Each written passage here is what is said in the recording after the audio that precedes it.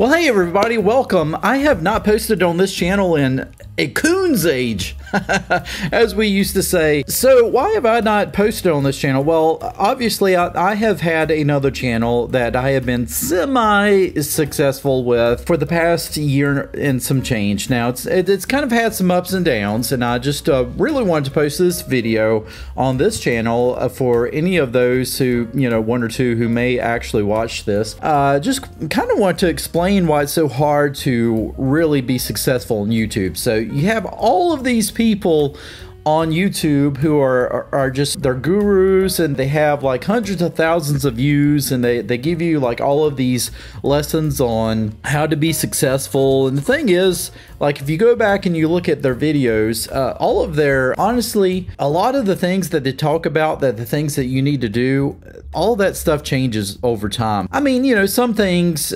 remain like you probably want a good thumbnail and and you want a good catchy title. I mean stuff like that is always going to be kind of the norm right. When when you go to the movies uh, you want to see a good movie poster hey that looks interesting. Certainly the title has to be catchy as well so that's going to entice you to want to check out the trailer. Stuff like that never changes but a lot of other things change as well. It seems like in in today's YouTube and, and some of the other social media that SEO is kind of starting to become a thing of the past, and I could be wrong on that. It does seem like that. It, it's even YouTube right now says that you know tags and things like that will will give you a minimum effect on how searchable your videos are. It really comes down to how catchy your title is, you know, clickbaity almost, and your thumbnail. But you know, the thing is, honestly, even sometimes the thumbnails I've noticed can be horrible, but yet you'll look on the the channel views and that that video will have gotten like millions of views and it's like how? Because it's like it's like the person the person's thumbnails there's them sitting there talking. Of course it may be a channel where it's a female and she's really pretty and all this stuff and she's probably wearing something that's kind of low cut and so of course you know those are always going to get lots of views. Anyway so you know talking about my channel uh, washington football maniacs channel it started off as the, the washington football fanatics and i thought i was going to get a sponsorship uh, with the uh, fanatics um, sports apparel and you know, they were, I think, willing to give me a sponsorship, but my name was, my channel name was too close to their name, so I changed it, and then I still didn't get a sponsorship. Uh, I kind of wish I had changed it back because, uh, to be honest, I like Fanatics better than Maniacs, but I mean, you know, Maniacs stuck. Having said all that, um, my channel, it's weird because it's like when I first started the channel, things were easy. I, I just started talking about Washington Redskins because they were the Redskins at the time. And, you know, views coming in, it really didn't take long. Honestly, it really didn't take long at all. Started getting subscriptions, subscribers just coming in.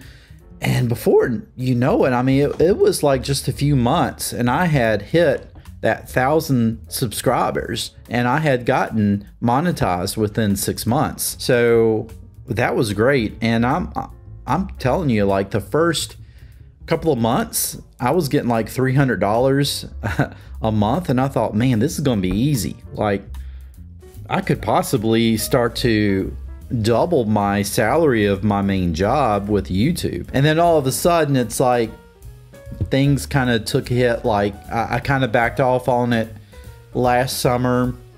Didn't have as much time. Uh, you know, work schedules kind of change. And of course, you know, you don't have football during the summer, so there's not a lot to talk about during the summer uh, as much. So your channel kind of takes a dip, and then there were a couple of months where I didn't hardly even make like 20 bucks. and then it picked up again. I started it up hot and heavy again, but you know, then I, I switched jobs, so there was a lot of like trying to fit in. There was a lot going on in my life, so my channel really went up and down. And so, anytime that I took a step back from the channel, then my views would drop and I would have to rebuild things. And so, where I was easily getting four to sometimes seven or eight thousand views per video for the most part, suddenly I was struggling to get 500 to a thousand views per video, which, you know, some of you would say, hey, that's pretty good. You're getting, you know, over a thousand views per video. That that's great.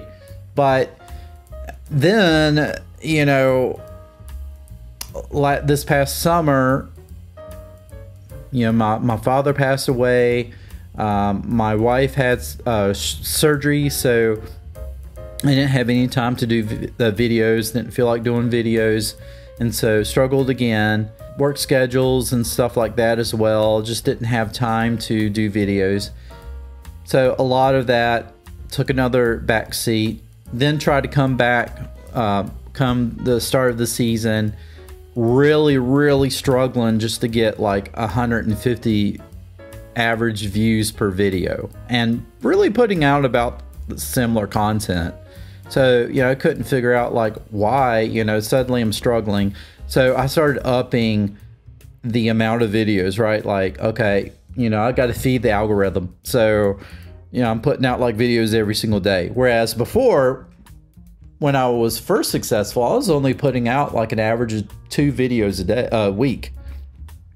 And uh, but you know, I will say um, I wasn't always like showing my face. I was um, I was actually doing a little bit more video editing, and this was more of kind of like what this video is now. They're more of a straight commentary uh, because there's a lot of fan channels that are like that. They just sit, they talk about the team, and then that's it and they're getting several thousand views. And so I thought, well, I can easily do the same. You know, I, I, have as much knowledge about football, about the team. So why can't I do the same? And then, you know, suddenly, all right, I'm not getting nearly as many views. And then my views have continued to sink.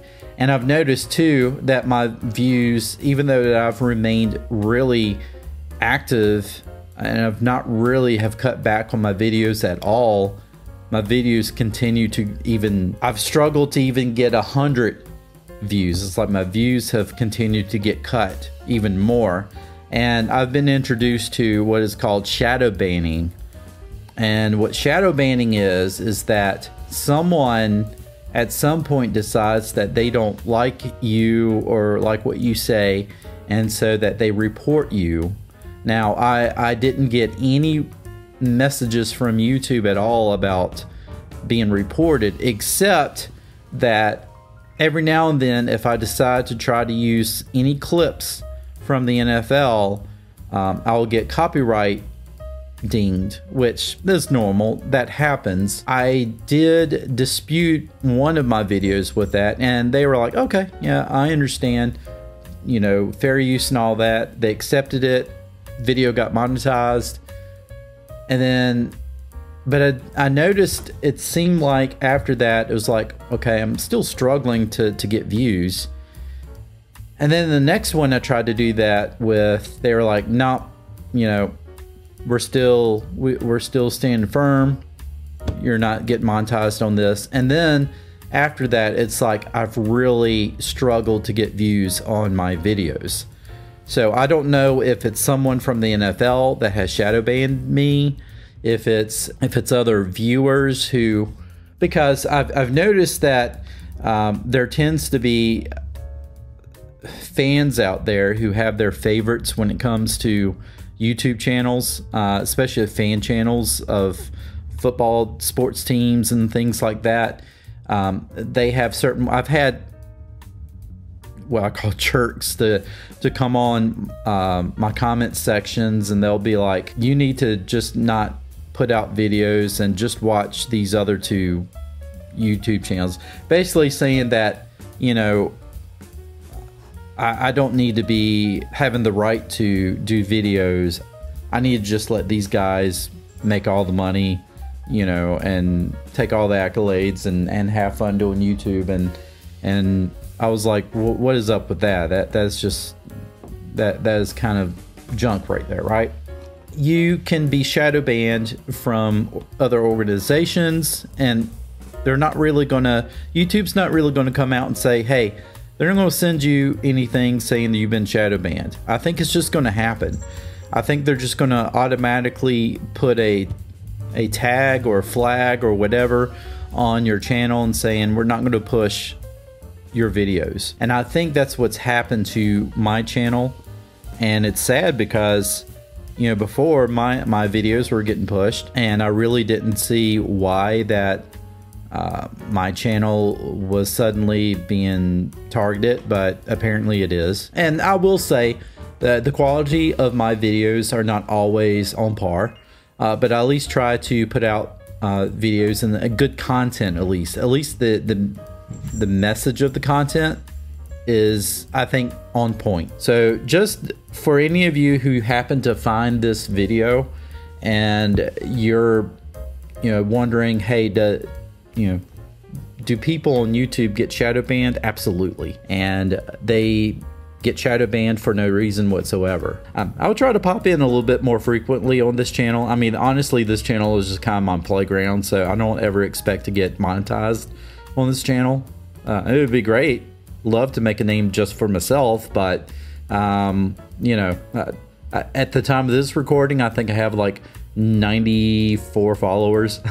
so, um, and this channel is really about nothing but nothing. So uh, I haven't gotten a direction in, in this channel, honestly. But anyway, um, there you go. So have at it. Um, let me know in the comments what you think. Uh, would like to know your thoughts on this as well. But uh, does YouTube shadow ban, and why is it so hard to make a living off of YouTube? Take care, everybody.